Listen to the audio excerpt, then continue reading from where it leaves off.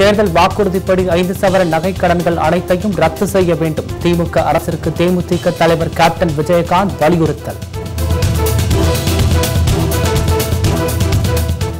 சென்னை திருவள்ளூர் காஞ்சிபுரம் செங்கல்பட்டு மாவட்டங்களுக்கு red alert. சென்னையில் கனமழை நீடிக்கும் என்று வானிலை ஆய்வு மையம் தகவல்.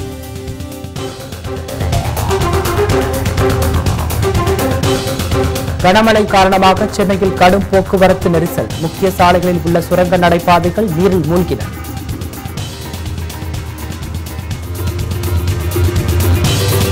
வளிமண்டல மேலடுக்கு சுழற்சி காரணமாக கடலூர் விழுப்புரம் மயிலாடுதுறையில் நாளை கனமழைக்கு வாய்ப்பு. சென்னை வானிலை ஆய்வு மையம் தகவல்.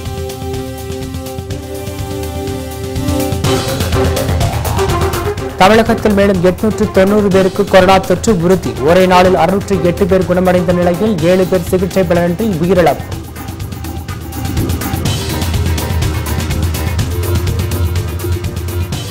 புதுக்கோட்டையில் துப்பாக்கி பயிற்சியின் போது குண்டு பாய்ந்த சிறுவன் படுகாயம். நான்கு மணி நேர அறுவை சிகிச்சைக்கு பின்னர் துப்பாக்கி குண்டு அகற்றம்.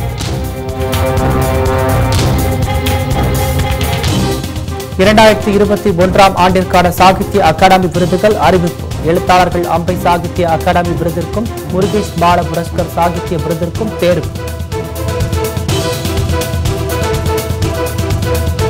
தென்னாப்பிரிக்காவிற்கு எதிரான முதல் டெஸ்ட் கிரிக்கெட் போட்டியில் இந்திய அணி நூற்று பதிமூன்று ரன்கள் வித்தியாசத்தில் அபார வெற்றி. இந்திய பவுலர்களில் பந்து வீச்சை தாக்குப்பிடிக்க முடியாமல் மளமளவென சரிந்த விக்கெட்டுகள்.